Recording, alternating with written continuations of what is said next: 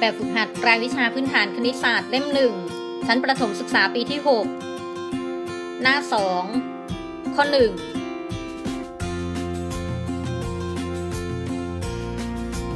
แบบฝึกหัดบทที่ 1หอรม และคอรนอ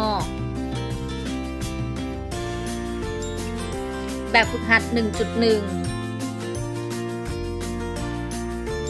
ข้อ 1 เติมตัวเลขแสดงจำนวนในช่องว่าง ข้อ 1 32 เท่ากับ 8 คูณด้วยอะไรนะคะ ถ้าเราท่องสูตรคูณ 8 ได้เราก็ดูเลยว่า 8 คูณอะไรจะได้ 32 นะคะ แต่เวลาวิธีการคิดนะคะ 8 คูณอะไรจะได้ 32 หรือว่าเรานำ8 ไปหาร 32 นะคะ เครื่องหมายตรงข้ามคูณก็คือหารนะ ก็นำ8ไปหาร 32 เขียนในรูปเศษส่วนก็ได้ว่าเศษ 32 ส่วน 8 เศษ 32 ส่วน 8 ใช้สูตรคูณ 8 ตัดนะคะ8คูณ1เป็น 8 8คูณ4เป็น 32 เศษ 4 ส่วน 1 มีค่าเท่ากับ 4 หมายความว่า 32 เท่ากับ 8 คูณ 4 8คูณ4เท่ากับ 32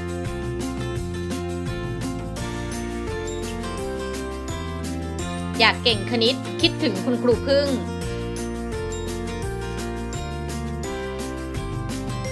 คณิตศาสตร์ออนไลน์ บายคุณครูพึ่ง VIP ม .1 เล่ม 1 เทอม 1 ราคาพิเศษเพียง 350 บาท สนใจ add LINE ID Happy Life 889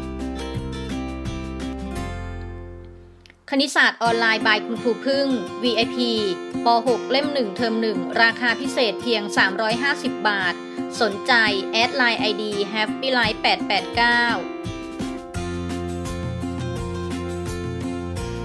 คณิตศาสตร์ออนไลน์ by คุณครูพึ่ง VIP ป .3 เล่ม 1 เทอม 1 ราคาพิเศษเพียง 350 บาท สนใจ add LINE ID Happy Life 889 คอร์สสอนออนไลน์ภาษาไทย by คุณครูใหญ่ อาจารย์ธนกฤษศรีใส เรียนภาษาไทยกับคุณครูใหญ่ อ่านออกเขียนได้แน่นอนล้านเปอร์เซ็นต์ สนใจโทร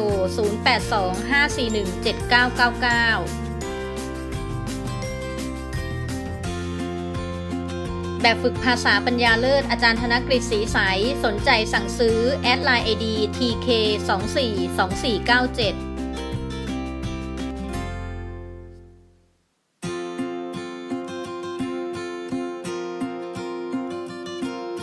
แบบฝึกหัดรายวิชาพื้นฐานคณิตศาสตร์เล่ม1ชั้นประถมศึกษาปีที่ 6 หน้า 2 ข้อ 1